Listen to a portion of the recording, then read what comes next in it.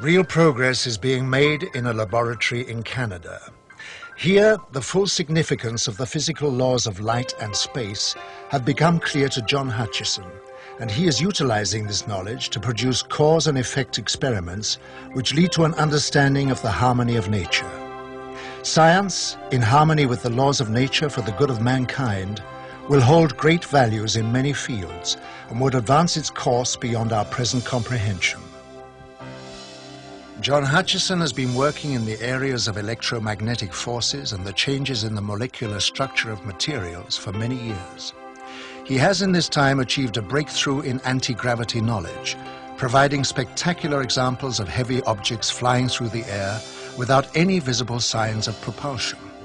He has also made amazing discoveries concerning the alteration of compositions of materials by subjecting them to a form of electromagnetic bombardment. We're looking at something which you know shouldn't be happening. The result of these experiments showed in graphic detail metal heating to a near liquid state without heat. Hard metals would turn into soft rubbery objects, proving that any substance could change its form if the science involved was understood.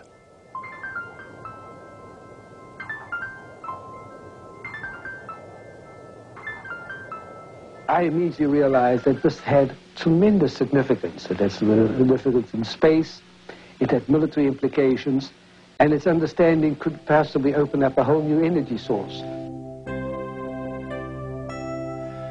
Hutchison is one of the growing number of scientists who realize that by applying physics to the natural laws of the universe, science will be taken into areas previously unrecognized. John Hutchison's achievement will give science a new momentum as it moves into the next century. Some of the work of uh, the lone inventor, uh, John Hutchison in Canada, Vancouver, Canada. Hutchison takes two Tesla coils and uh, essentially puts in the center of them a target, which in every target has certain nonlinearities, and then blasts away with these two coils at them basically what he establishes is an electromagnetic fighting itself, electromagnetic forces fighting themselves. And gravitational force is made when, a gravitational potential is made when electromagnetic forces fight themselves to a draw, when, in other words, the gradients become zero. The, uh, the gradient vectors or the resultants become zero, but the two forces are still in there slugging it out. All the energy is still going, the work is still going, but it's trapped locally. That's internal energy that's what gravity is. And the Whittaker paper tells very well how to do that. So when John got things just right, he didn't have control of it, absolute control, but we, he bored in there with persistence. And when he got things just right to get the forces to fight to a draw, and there was the right nonlinearity in the target, he would have levitation of things even 64 pounds.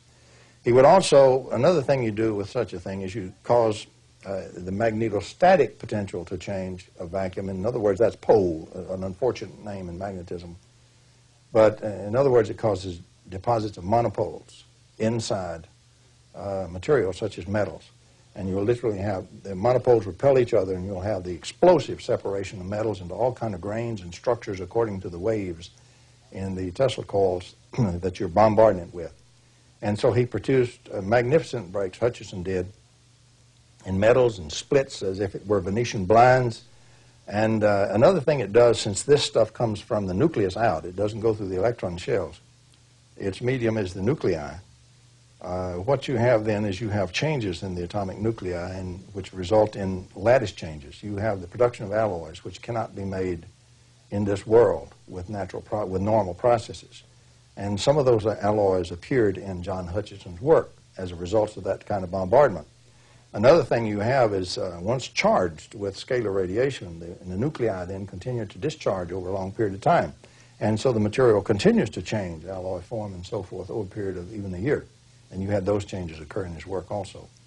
He was reproducing and has been reproducing uh, some of the work of Nikola Tesla and even some of it going further. But that's what he's doing.